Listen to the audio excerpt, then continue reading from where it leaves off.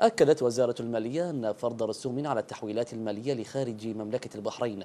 سيكون له أضرار كبيرة على الاقتصاد بشكل عام والقطاع المصرفي والتجاري بشكل خاص. هذا وأوضحت الوزارة أن فرض رسوم يعتبر نوعا من أنواع السيطرة على حريات تدفق رأس المال والتي من شأنها تقييد تقييد المعاملات المالية ما يتناقض وبشكل مباشر مع سياسة البلاد في كونها اقتصادا حرا ومنفتحا.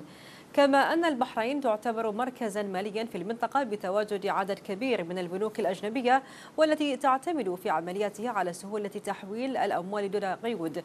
وإدخال تلك الرسوم سيكون له تأثير كبير على تكلفة تشغيل تلك المؤسسات ما يساهم في تراجع موقع البحرين التنافسي في الاحتفاظ بهذه المؤسسات أو جذب مؤسسات جديدة.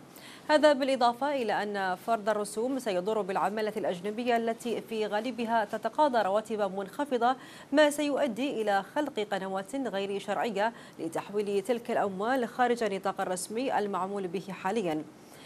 كما أن أي إجراءات تمس جوهر السياسة النقدية أو تقيد من حرية حركة الأموال لها أثار سلبية مباشرة على سعر الصرف الرسمي وسيعرض البلاد لمخاطر زيادة المضاربة على الدينار في الوقت الحاجة إلى ثبات استقرار هذه المؤشرات في ظل انخفاض سعر